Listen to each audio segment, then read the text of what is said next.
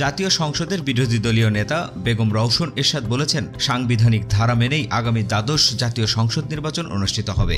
আর সেই নির্বাচন হবে একটি স্বাধীন ও শক্তিশালী নির্বাচন কমিশনের অধীনে। নির্বাচনকালীন সরকার শুধু কমিশনকে সহায়তা করবে, ওই নির্বাচনেই অংশ নেবে জাতীয় পার্টি। বুধবার সকালে বিরোধী দলীয় নেতার মুখপাত্র কাজী মামুনার রশিদের বরাতে সংবাদ মাধ্যমে পাঠানো এক বিবৃতিতে এসব কথা বলেন রওশন এরশাদ।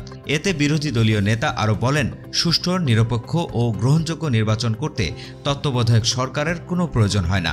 নির্বাচন কমিশনই পারে সবার কাছে গ্রহণযোগ্য ও অংশগ্রহণমূলক ভোট গ্রহণ সম্পন্ন করতে। অস্থায়ী সরকার বা তত্ত্বাবধায়ক সরকার যাই বলা হোক না কেন, কোনো অসাংবিধানিক সরকারের অধীনে নির্বাচন চায় না জাতীয় পার্টি।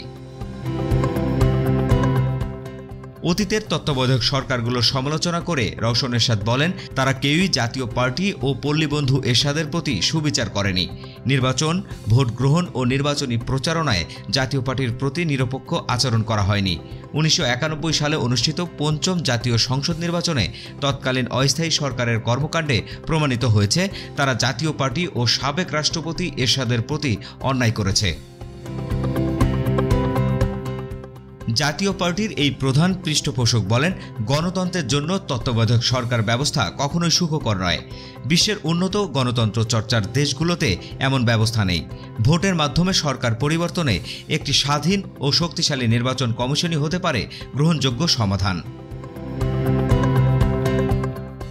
আগামী সংসদ নির্বাচনে বন্ধু প্রতিম রাষ্ট্রসমূহ ও জাতীয় সংঘের প্রতিনিধিদের পর্যবেক্ষক হিসেবে সফরের আমন্ত্রণ জানিয়ে তাদের উদ্দেশ্যে বিরোধী দলীয় নেতা বলেন, দ্বিপাক্ষিক আন্তরিক সম্পর্ক বজায় রাখুন।